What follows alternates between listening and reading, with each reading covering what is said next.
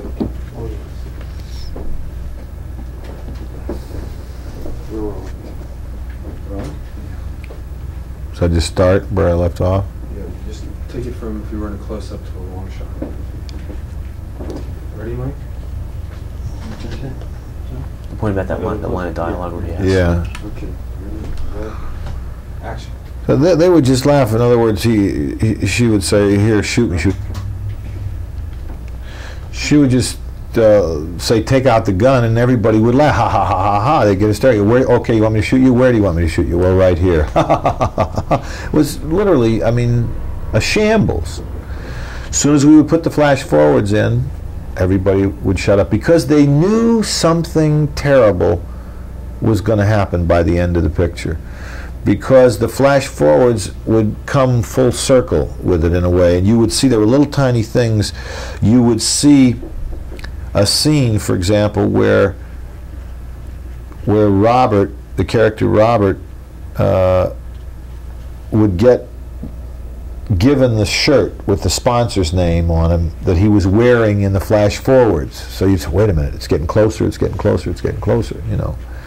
Um, anyway, those were some of the. Also, it was as I said, it was it was a, a film that took place in one set only. There, were, there was no way to go outside. There was no way to do anything else. It was also a film that repeated the same activity over and over and over again for two hours, and got slower, which is a nightmare. I mean, in order to make to create the reality of the fatigue level, I I had a real pacing problem. You can't make them talk faster.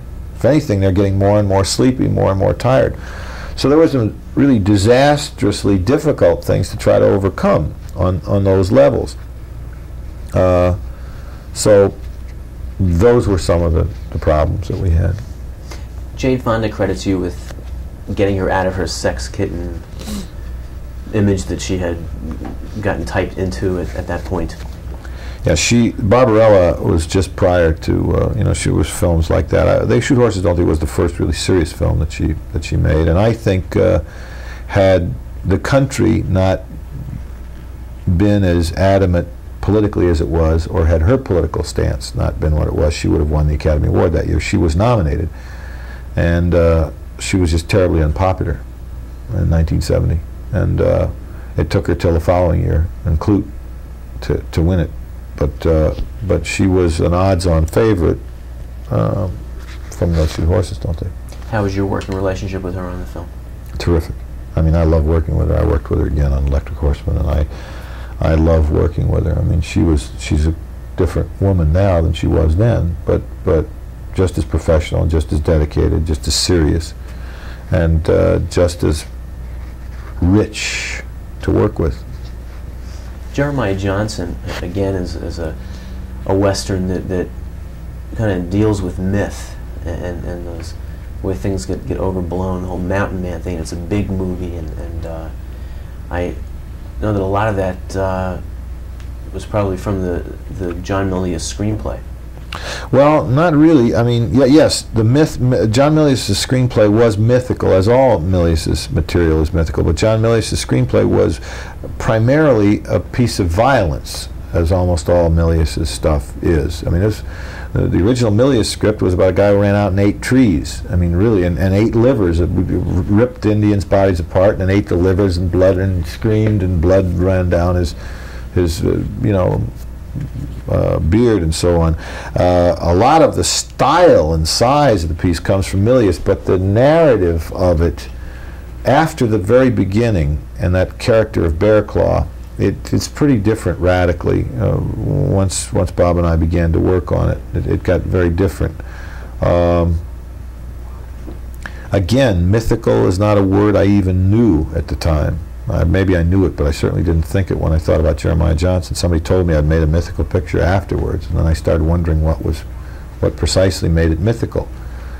Um, there is something in every film by any director that by which you can recognize that director. I think, and sometimes I think that there's a kind of melancholy in mine. I don't know why, but I, it's what I see, and it's certainly there in Jeremiah Johnson. I don't know why that is. I don't feel like like I'm a particularly sad person necessarily, but I, but there was something moody and melancholy in that picture, more, more very vividly moody and melancholy. Um, it's, it's a, I think it's a very poetic film in a way, in the sense that it's, that it's, it's, it's one of the most purely visual films I've ever made. It, there's very, if you looked at the script, the dialogue script for it, it's, there's very little. I mean, it's almost a silent picture. Uh, and as such, it's a picture that was made as much in the editing room as it was in the shooting. I was seven and a half months editing Hmm. that picture. Um nobody knew what it was. Nobody. I mean, our, it was a film where we used to watch dailies and everybody would fall asleep, except Bob and I, because all you had would be big shots of a guy walking a horse through the snow or something. You, you didn't know what in the hell you were going to do as a picture. You didn't see strong narrative line, you know. Uh, it's a picture made out of rhythms and moods and a perform- wonderful performances. Bob's performance was wonderful, I thought, in that picture.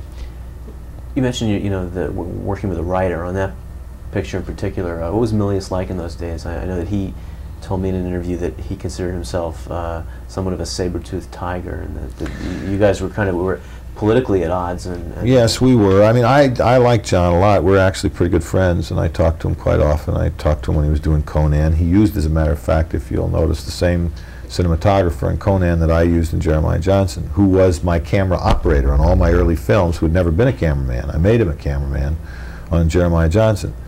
And then Duke Milius, Callahan? Duke Callahan. Yeah. And then Milius used him um, there. So we, John and I talk a lot. It's true, in those days, Milius was, was terribly proud of, of his sort of macho image and played it to the hilt.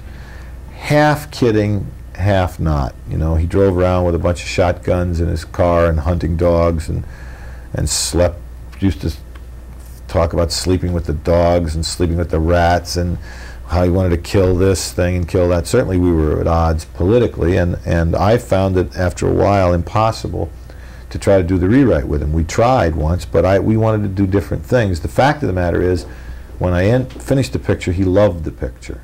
And probably at heart, we're not terribly far apart. John is a romantic, I think, at heart, like I am, probably.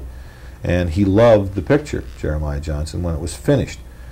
But on a moment to moment basis, my, my way of going deep or into the material versus his way of being more vividly theatrical with the macho or the violence of it was just too difficult. So I ended up working with, uh, you know, with David Rayfiel, who I, you know, work with a lot, and Eddie Anhalt, who got credit. David did an enormous amount of work, didn't get credit, as David has done on many of my films and not gotten credit.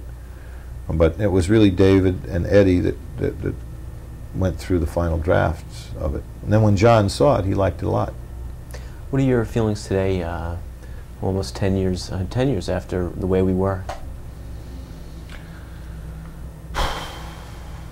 Well, I haven't seen it in a while, but um, I think it it I don't know. It's had a it's an odd film. I mean, it's a film that nobody thought was much good at the time that we made it. Uh, I mean, the studio didn't, and I I didn't know. Uh, I didn't really either, and. Uh, then it's sort of it's one of those films that's grown in stature with time in an odd way. I see it referred to often, and I see it referred to even as a uh, uh, even with the word classic in front of it. You know, a classic love story of the '70s or something is a phrase I see often.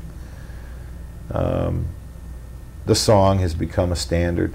Um, so I don't know what to say about it. I mean, I, I, I think it's got two great performances in it uh, by Bob and Barbara. I don't think my work in it is particularly distinguished or good, but I think I was. Uh, the best thing about my work in that particular picture was my wanting to make it, I think. My uh, feeling that there was really a story there, and that uh, I finally got a screenplay, again, with a lot of help from David Rayfiel and, and, and Alvin Sargent, who worked with Arthur Laurents. It's a very good piece of material. Uh, but I did get a screenplay, and I did talk Bob into doing it. He did not want to do it, and uh, I was able to get a movie, you know, put together. It's not the best visual work I've ever done, or uh, or whatever. But I think it's a very satisfying movie, and uh, Certainly, the audience has loved it. Is, is that your most commercially successful film? uh, financially, no. Well, close to. Uh, uh, Electric Horseman is pretty close to it. Um, but yes, in terms of, and I have strange friends who really love that film. I mean, friends who I think of as being real cinema buffs, people that I would think would be tougher on film than that, who really like it. I mean, sort of cinema intelligentsia, if you will, who you expect to only like Bergman and Antonioni or something, and, and they loved the way we were. Um, when it came out, it had strange reviews. Uh, People almost apologized for liking it. I mean, Pauline Kael liked it, but she sure fell all over herself apologizing for liking it. You know, it was. I mean, most people didn't want to like it. They thought, "Oh, this is what the hell? This is a real popcorn movie." You know.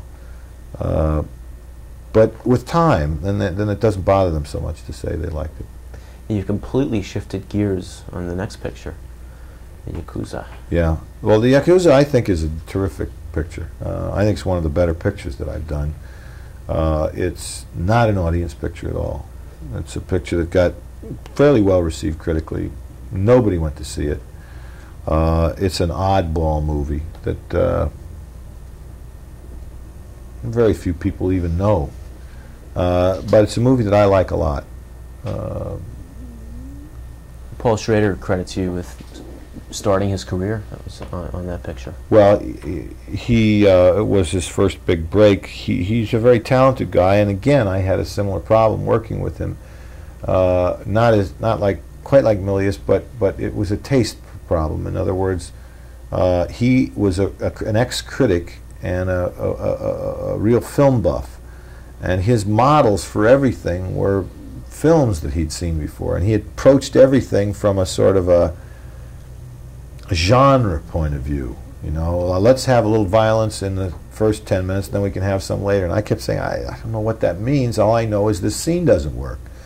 You know, and but he was terrific, and his brother was terrific, Len, too. And uh, they, were, they were both good, and they came over while we were shooting. Uh, Bob Towne, Robert Towne, came and did the rewrite for me on that. And I got to work with Mitchum, who was just wonderful to work with, and, and Brian Keith and some Richard Jordan, some real good actors, and a wonderful Japanese cameraman named Kozo Okazaki, and uh, spent a lot of time in Japan. And I, I still think that that's a pretty damn good picture. And Mitchum kind of harkens back to that, that grand personality style of acting, if indeed there is such a thing. Mitchum is a Mitchum is like an old, wise horse. He'll go just as fast or as hard as you make him. Uh, he can do anything. He can do anything. But he'll get away with as little as he thinks he can get away with. Not out of laziness, but out of the fact that I think he thinks most people don't know the difference. And sometimes it's true. You know, Mitchum is one of those guys that the world sometimes underestimates, and they never should, because he's he's a wise character who knows a lot about life. And uh, what you see in that face is really there. You know, it's really been marinated in life, uh, as have his thoughts and his you know his whole persona. He's an extraordinary guy. Both uh, Three Days of the Condor and Bobby Deerfield seem to be that kind of big Hollywood packaged deal type of picture, as a as opposed to some of your your more quote personal unquote type of works. Uh, well, Three Days of the Condor, I don't know. Three Days of the Condor is one of the again one of the better received critically of my films. Uh, I think Deerfield probably you could say that about, but Condor I don't know. Condor ended up being a being a pretty respectable film artistically, at least if you listen to New York critics. Uh, it uh, I think it start, may have started out that way, but it didn't end up that way. Somehow Condor exceeded itself. I think it began with Bob and I wanting to have some fun. That's really what it was. We kept saying, why are we always grappling with these horrendous themes and all this heavyweight stuff? Let's just go out and shoot a movie that's fun. It's contemporary. Let's do this. That was when it was Six Days of the Condor, and it was just a kind of frivolous James Bond romp.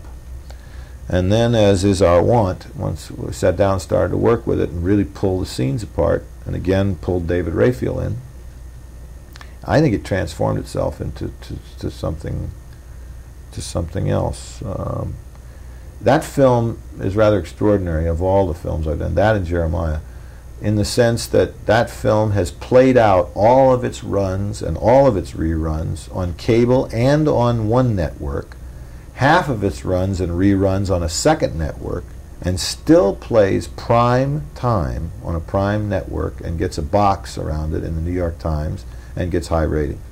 Uh, it gets one of the best bets box around it when it just did two, sun, three Sundays ago or whatever when it was on. And that's an old film now. It's seven years old. And uh, that film I was asked to have open the New York Film Festival, but I couldn't convince Paramount to let it go to open the New York Film Festival. So I don't know if I would call it a big Hollywood package precisely. Again, that may have been how it started out. Bobby Deerfield, perhaps, like, although I didn't think of it as that. Bobby Deerfield was a film that Paul Newman brought to me just before I made Three Days of the Condor. I had just made the Yakuza, and it was a flop, and I was petrified to make Bobby Deerfield. I loved it, but I was afraid to make it. So I went off and did Condor. When Condor started to do money and make money, I, I dug out Deerfield. Deerfield is is a film that I would have paid money to do, probably, which just goes to show you should never listen to me. Uh, it wasn't a big Hollywood deal film. Nobody wanted to make it. I mean, studios were not clamoring for it by a long shot. They considered it a downer. Uh, it was something I wanted very much to make, and, and at that time, at the time that I wanted to make it, uh, Newman couldn't make it, so I, I had to talk Al into to doing it. Um, I still don't know what happened on that film. It's to this day somewhat baffling. I'll, I'll, suppose I'll understand it. Somehow it just everything went wrong. I guess uh, in a way that I don't honestly understand. Did the same thing on that film I've done on every other film. Although I know that The Electric Horseman had script problems, I, I think that uh, the fact that much of, of, as you mentioned earlier, the fact that you know your, your relationship with, with Redford, you were able to bring out a lot of that kind of uh, Electric Horseman. I literally ended up writing half of every night before we would shoot. We make jokes now about my saying, "Let's pick the longest location because I have time to write the scene by the time we get there." And that's literally true. There are yellow pads all over the place. Where riding out to work in the morning, I would do do the scene. Poor Jane would come back, and and she she we shut down Christmas uh, for two weeks, and she came back. And she said, "Everybody's asking me how." how's this thing going to end? And I keep saying, I don't know. She said, am I going to go, am I going to stay with him or am I not going to stay with him or what's going to happen? We didn't even, none of us knew. Just like Casablanca. Yeah, right, right. Well, that, that's, I think, responsible for a lot of the, the spontaneity of, of, of, the thing. Yeah, we really didn't know. I mean, it just, that was a film that was sort of made day by day, in a way. It really was. Uh, that was something Redford and I got ourselves in real trouble. We had wanted to make another film uh, called A Place to Come To, uh, and we just we couldn't we couldn't get it made. We had to abandon it. We had a crew hired, and everybody hired, so we were under the gun. We had to take a film. That was a project that Ray Stark owned, was laying around. We grabbed it and uh, then realized that we had to do an awful lot of fixing, and we had to start. So we were in the middle of it before we were. We had 20 pages. Are you still going to get to make that film? I don't know whether we will or not because uh, uh, it's expensive uh, Bob's getting on now. I'm getting on. It's a tough film. I it's a I love it. It's a film I wish we would have made. So does Bob. Maybe that was the biggest mistake the two of us have ever made. Is not to make it. Maybe we'll make it one day. We're not rolling, are we? Yeah, we're still rolling. Okay. On Absence of Malice, um, how did you come to, to make that picture? That was a screenplay that my agents sent me. It was as simple as that. Um, I had met the guy, Kurt Luedtke. It was his first screenplay. I'd met him because a friend of his worked for me matter of fact, and brought him over while he was writing it for Orion Pictures. Orion and George Roy Hill, as a matter of fact. When Orion passed on it, um, I thought it was interesting. I, I, didn't think it worked as a screenplay in its first form, and uh, Kurt and I worked very hard together. And again, we brought David Rayfiel in to work with us, and uh, and finally got a, a, viable screenplay. That was another screenplay that not everybody wanted to make. I first sent it to Warner Brothers, and they did not want to make it wonderfully received film too. Yes, it was very well received, and it did, and it did very well commercially, uh, considering its, its, relative seriousness. Can you talk uh, briefly about Tootsie? Tootsie is a Tootsie is a comedy, a contemporary comedy about a man who can't find work as a male actor, so gets work as a female actor, Uh, and then it becomes a comedy of errors. He falls in love with his leading lady, who thinks he's her best girlfriend. Her father falls in love with him. Uh, he leads a double life. Um, I hope, like any good film, that it's more than just a comedy. I hope it's eventually about a man who learns to be a better man for having been a woman, in a way. And I hope even more than that, that maybe it's about the fact that uh, the real cement of a relationship is friendship, and that's independent of sexuality sometimes. I mean, what does happen between these two people who eventually we hope will become lovers is that they become best girlfriends first. And as he says at the end of the picture, look, the hard part's over. We're friends already. Uh, most men and women are have some sort of adversary relationship in one form or another going, even when they're quite close. And uh, so it's a way to explore some of those ideas and hopefully still be entertaining. It's a more overt and broad comedy than I've ever done before, and that's really one of the reasons that I wanted to do it. You're wearing two hats in that as director and actor. Excuse me, I'm changing the last tape. Okay.